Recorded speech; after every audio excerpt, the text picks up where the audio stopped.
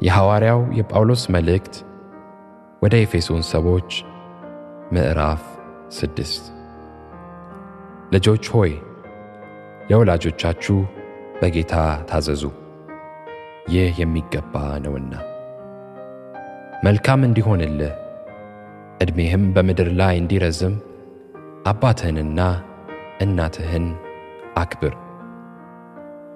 እርሷም የተስፋ ቃል ያላት ፊተኛይቱ ትእዛዝ ናት። እናንተም አባቶች ሆይ ልጆቻችሁን በጌታ ምክርና በተግሣጽ አሳድጓቸው እንጂ አታስቆጧቸው። ባሪያዎች ሆይ ለክርስቶስ እንደምትታዘዙ በፍርሃትና በመንቀጥቀጥ በልባችሁ ቅንነት በሥጋ ጌቶቻችሁ ለሆኑ ታዘዙ። የእግዚአብሔርን ፈቃድ እንደሚያደርጉ እንደ ክርስቶስ ባሪያዎች እንጂ ለሰው ደስ እንደምታሰኙ ለታይታ የምትገዙ አትሁኑ። ለሰው ሳይሆን ለጌታ እንደምትገዙ በትጋትና በበጎ ፈቃድ ተገዙ።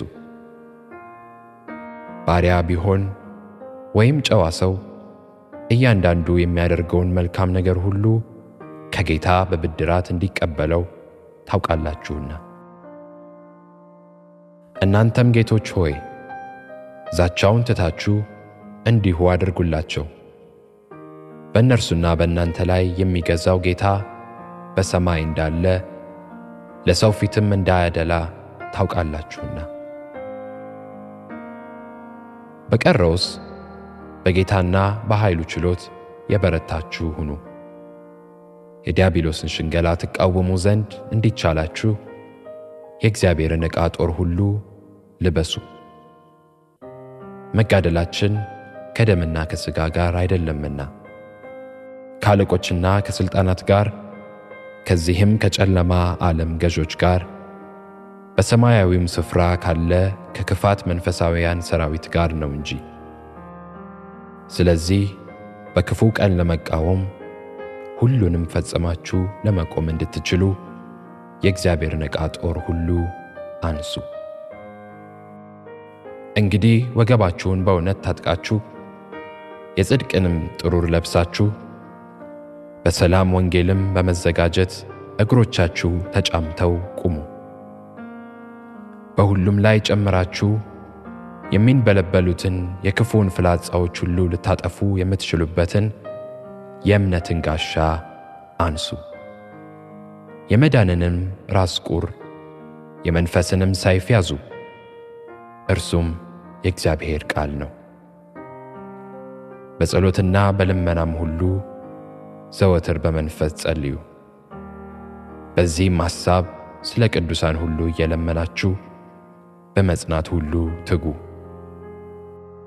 ደግሞ የወንጌልን ምስጢር በግልጥ እንዳስታውቅ አፌን በመክፈት ቃል ይሰጠኝ ዘንድ ስለ እኔ ለምኑ።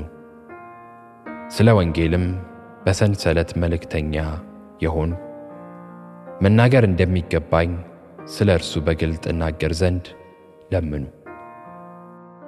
ነገር ግን እናንተ ደግሞ እንዴት እንዳለው ኑሮዬን እንድታውቁ የተወደደ ወንድምና በጌታ የታመነ አገልጋይ ቲኪቆስ ሁሉን ያስታውቃችኋል። ወሬያችንን እንድታውቁና ልባችሁን እንዲያጽናና ወደ እናንተ የምልከው ስለዚህ ምክንያት ነው።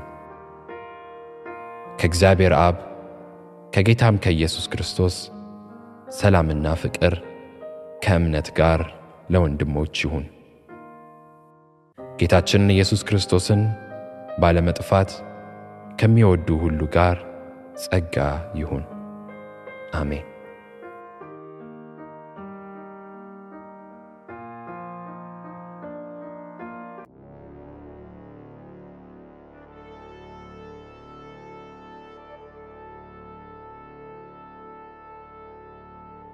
ትንቢተ ኢሳይያስ ምዕራፍ 20 የአሦር ንጉሥ ሳርጎን ተርታንን በሰደደ ጊዜ እርሱም ወደ አዛጦን በመጣ ጊዜ አዛጦንም ወግቶ በያዛት ጊዜ በዚህ ዓመት እግዚአብሔር የአሞጽን ልጅ ኢሳይያስን ሂድ ማቅህን ከወገብህ አውጣ፣ ጫማህንም ከእግርህ አውልቅ ብሎ ተናገረው። እንዲህም አደረገ። ራቁቱንም ባዶ እግሩንም ሄደ።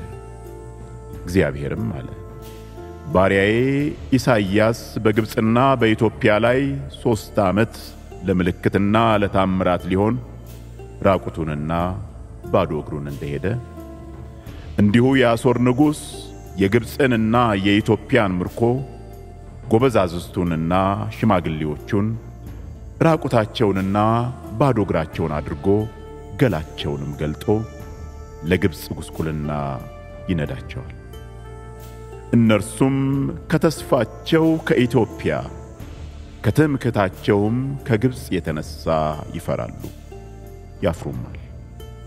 በዚያም ቀን በዚች ባሕር ዳርቻ የሚቀመጡ እነሆ ከአሦር ንጉሥ እንድን ዘንድ ለእርዳታ ወደ እነርሱ የሸሸንበት ተስፋችን ይህ ነበረ፣ እኛስ እንዴት እናመልጣለን?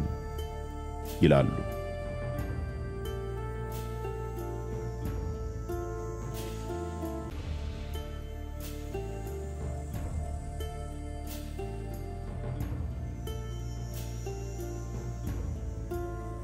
ትንቢተ ኢሳይያስ ምዕራፍ 21 በባሕር አጠገብ ስላለው ስለ ምድረ በዳ የተነገረ ሸክም። አውሎ ንፋስ ከደቡብ እንደሚወጣ እንዲሁ ከሚያስፈራ አገር ከምድረ በዳ ይወጣል። ከባድ ራእይ ተነገረኝ። ወንጀለኛው ይወነጅላል፣ አጥፊውም ይጠፋል።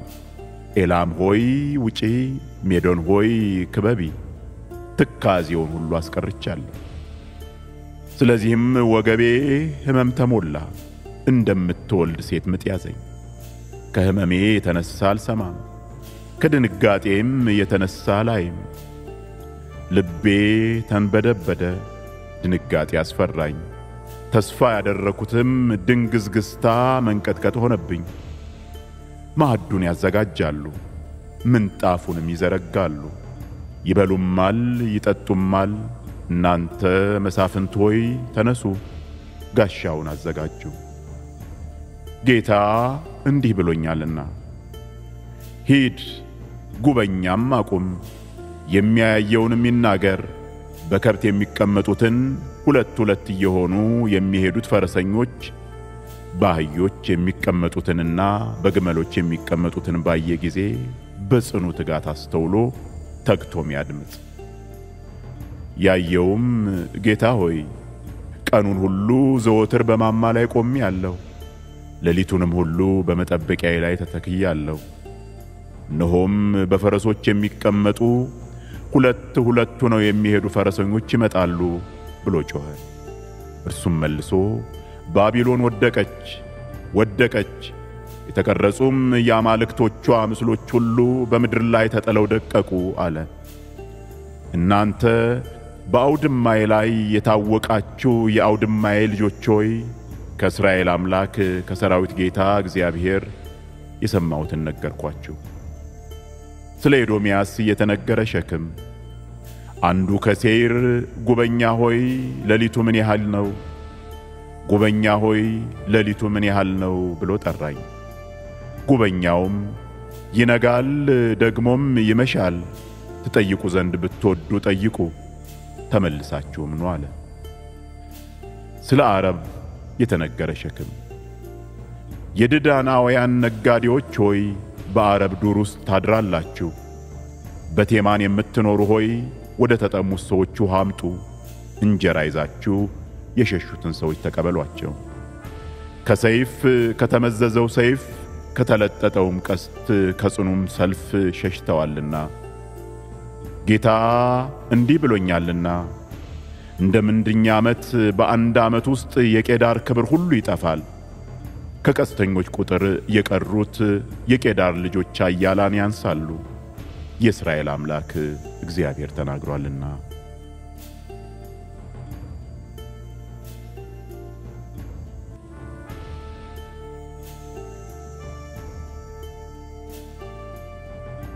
ትንቢተ ኢሳይያስ ምዕራፍ 22 ስለ ራእይ ሸለቆ የተነገረ ሸክም።